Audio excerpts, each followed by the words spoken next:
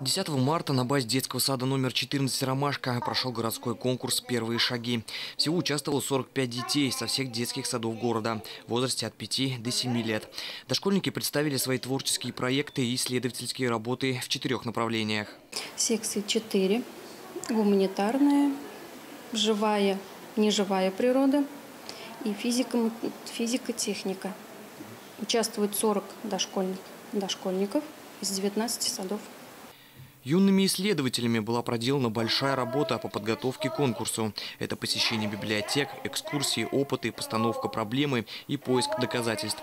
На конкурсе были представлены различные тематики исследовательских работ. Например, воспитанница детского сада номер 21 «Росинка» Анастасия Вершинина разработала проект исследовательской работы под названием «Магниты».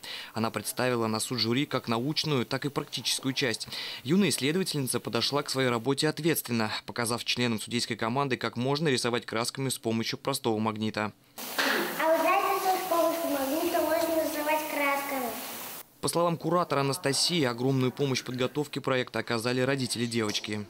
Подготовка шла хорошо, быстро. Ребенок очень любознательный, а, быстро все схватывает, задает много вопросов, познавательная деятельность на высоком уровне.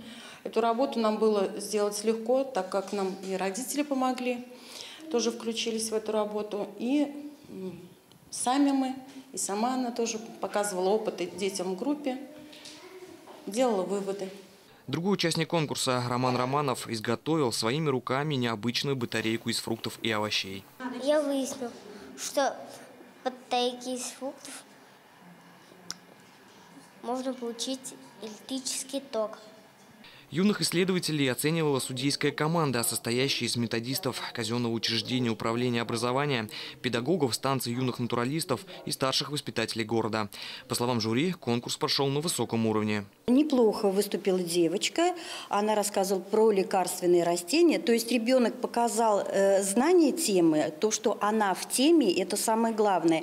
Когда ребенок рассказывает, э, волнуется это одно, но не всегда ребенок, получается, понимает, о чем говорит говорит. Вот с дошкольниками, именно с ребятами дошкольного возраста, самое главное, чтобы ребенок понимал, о чем он рассказывает.